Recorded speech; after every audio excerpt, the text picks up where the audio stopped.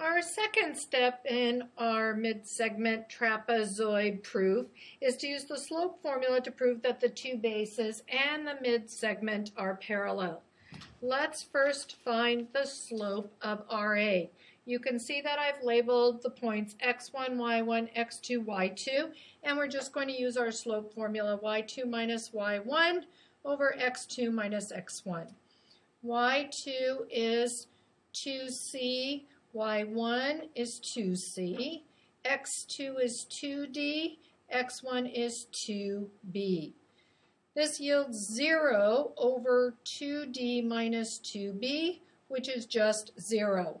The slope of RA is 0.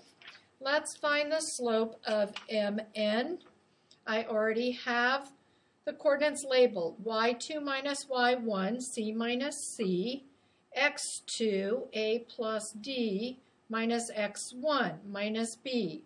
c minus c is 0 over a plus d minus b. And again, this is just 0. So the slope of mn is 0. Lastly, we need to find the slope of OP. y2 minus y1, x2 minus x1.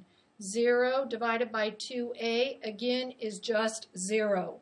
Because all three lines have a slope of 0, it proves that the mid-segment is parallel to the two bases.